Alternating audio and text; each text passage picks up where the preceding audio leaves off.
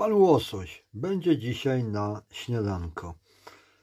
Skromny, ale zdrowy. Zdrowy, bo polski, porządny łosoś. Zawsze smaczny, witaminowy i dla normalnych.